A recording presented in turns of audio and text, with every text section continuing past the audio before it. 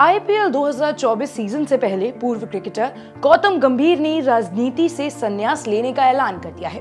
उन्होंने खुद ट्वीट करके इसकी जानकारी भी दी। गौतम ने कहा कि मैं बीजेपी अध्यक्ष जेपी नड्डा से अपील करता हूँ कि वह मुझे मेरे राजनीतिक दायित्वों से मुक्त करें, ताकि मैं क्रिकेट पर फोकस कर पाऊँ। आपको बता दें कि गौतम गंभीर पूर्वी दिल्ली लोकसभा सीट से बीजेपी सांसद हैं। वे 2019 लोकसभा चुनाव जीतकर पहली बार सांसद बने थे।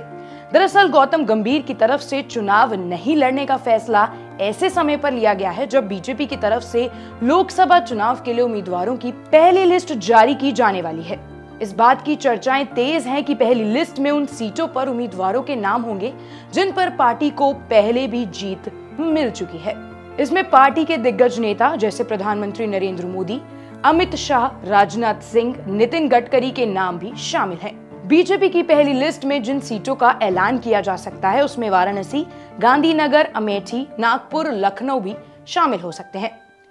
लोकसभा चुनाव 2024 से ठीक पहले आई इस खबर ने सभी को चौंका दिया है।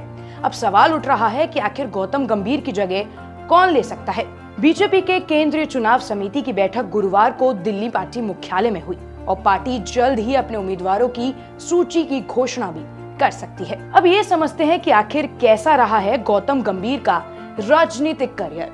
राजनीतिक की पिच पर बैटिंग करने की शुरुआत गौतम गंभीर ने साल 2019 से की थी। वह मार्च 2019 में बीजेपी में शामिल हुए और इसके बाद जब लोकसभा चुनाव 2019 के लिए बीजेपी की तरफ़ से उम्मीदवारों के नामों का ऐलान किया गया तो उसमें पूर्वी दिल्ली सीट से गंभीर को उम्मीदवार बनाया गया था।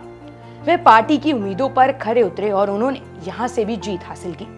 उनके सामने आम आदमी पार्टी की अतीशी और कांग्रेस के अरविंदर सिंह लवली मैदान में थे। वह अक्सर ही सदन में होने वाली चर्चाओं में भी नज़र आते थे। हालाँकि कई बार वे अपनी क्रिकेट कमिटमेंट को लेकर भी विवादों में रहे हैं। तो गौतम गंभीर के इस चुनावी रिटायरमेंट को लेकर आपकी क्या राय है, हमें कमेंट सेक्शन में ज़रूर बताएँ।